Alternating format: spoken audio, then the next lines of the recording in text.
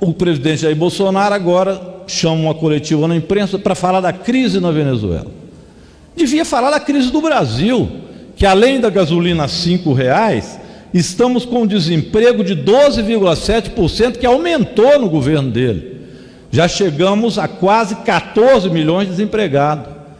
A inflação este mês foi das inflações maiores que o Brasil já teve. Cuidado com a Argentina, porque aumentando o preço da gasolina, do diesel, você gera inflação exatamente onde não podia, que é no preço daquilo que nós precisamos de consumir, alimentos e produtos essenciais. A inflação chegou agora a 0,72%. A subutilização de emprego no Brasil está a 25% da mão de obra. O dólar bater na casa de R$ reais. O governo anunciando corte de cisternas no semiárido e anuncia agora um corte nas universidades de 20% do recurso que iria para a universidade. Em algumas que ele quer combater do ponto de vista ideológico, foi maior o corte, como bem lembrou nossa deputada Érica Cocais, de 30% na UNB.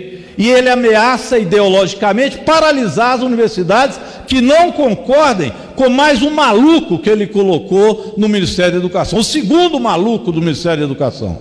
Depois acha ruim que o, o presidente Lula, o mais querido de toda a história do Brasil, se refira ao governo Bolsonaro como um bando de malucos.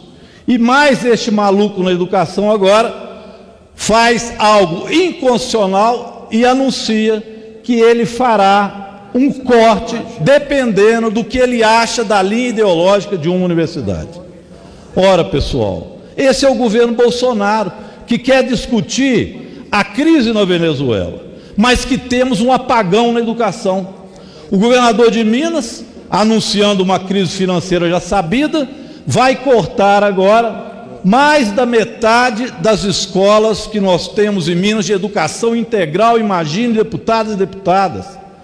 Serão milhares de crianças que têm ido à escola muito novamente para se alimentar, porque a fome está voltando ao Brasil com esta política recessiva, e ele corta a possibilidade dessas crianças estudarem em tempo integral. Serão 8 a 9 mil professores, professoras e trabalhadores de educação demitidos. Ou seja, nós vivemos o apagão da educação no Brasil. E o Eduardo Bolsonaro, nosso colega deputado, foi lá na fronteira da Venezuela comemorar um golpe fracassado. Vai voltar com mais esse mico, gritando que é um mito. Acredite quem quiser. Mas o que a gente assiste no governo Bolsonaro é vergonha atrás de vergonha. Onde estão os médicos do programa Mais Médico?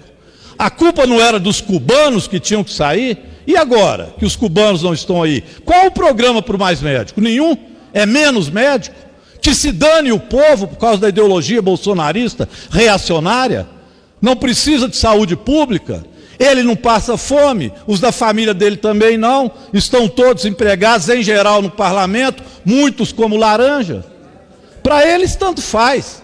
Mas como fica o povo que não tem acesso mais a programas como Mais Médico, a educação pública, a fome que está voltando no Brasil, a inflação que está retornando, especialmente de alimento, aos agricultores familiares que têm perdido também a sua condição de acessar ao Pronaf. Os programas sociais vão se acabando. É como Bolsonaro disse, ele veio para desconstruir Bolsonaro está desconstruindo o Brasil em 100 dias e chama uma reunião do ministério para discutir a crise na Venezuela. A crise na Venezuela existe do boicote norte-americano e de Trump, que virou agora o patrão no Brasil também a ditar as normas. Daqui a poucos dias, a continuar nesse ritmo, nós estaremos de novo de joelhos perante o Fundo Monetário Internacional coisa que Lula nos honrou e retirou daqui essa subserviência ao governo norte-americano. Está tudo para ser vendido. Petrobras e Paulo Guedes diz que já está fazendo isso. E para terminar, o governo Bolsonaro só tem uma solução para o Brasil: acabar com as aposentadorias. Eu vou acabar com a aposentadoria dos brasileiros e o Brasil vai voltar a ser emprego, ter emprego. Mentira! Quem falou isso foi Rogério Marinho, o mesmo que está cuidando agora do fim da aposentadoria, quando cuidou do fim dos direitos dos trabalhadores na tal reforma trabalhista. Quantos empregos foram gerados com a tal reforma trabalhista? Nenhum emprego. O Brasil hoje é um país de quase 14 milhões de desempregados. A reforma trabalhista foi uma balela. Ela julgou o Brasil mais recessão econômica, assim como essa maldita reforma da Previdência, se fosse aprovada, levaria também o Brasil a mais recessão. Porque é menos dinheiro na mão do povo, na mão dos pobres, na mão dos trabalhadores. É dinheiro que não circula. É dinheiro que fica com os banqueiros para especulação em bolsa de valores. Isso leva à recessão econômica aprofundar no Brasil. Imagine os pequenos municípios sem o dinheiro da Previdência Pública, sem os assalariados, sem os idosos, terem o que gastar, o que serão desses municípios. A recessão econômica de Paulo Guedes e Bolsonaro não é solução para nada. Ainda bem que Eduardo Bolsonaro vai voltar passando o mico do golpe que ele quis fazer parte lá na Venezuela. E o Bolsonaro agora, a ver navios, podia pelo menos dar o braço a torcer e começar no Brasil a cuidar do nosso povo. Este bando de malucos não pode continuar gerando o Brasil através da recessão econômica.